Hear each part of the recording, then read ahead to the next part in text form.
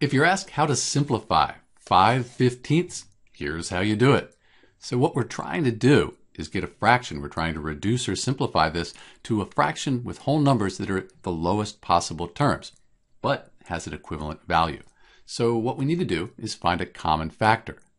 We know that 5 goes into 5 one time and 5 goes into 15 three times. So the common factor is 5. Divide 5 by 5, you get 1. Divide 15 by 5, you get 3. So if we simplify the fraction 5 fifteenths, 5 over 15, we get 1 third. We can't reduce or simplify this any further. If you check this on your calculator, if you divide 5 by 15, you get 0.333. Those threes are repeating. Put a little bar over it. If you divide 1 by 3, you get 0.333. Again, they're repeating. So these fractions are equivalent. It's just that when we simplify 5 over 15, we get 1 third, different numerator and denominator. The value, though, it doesn't change.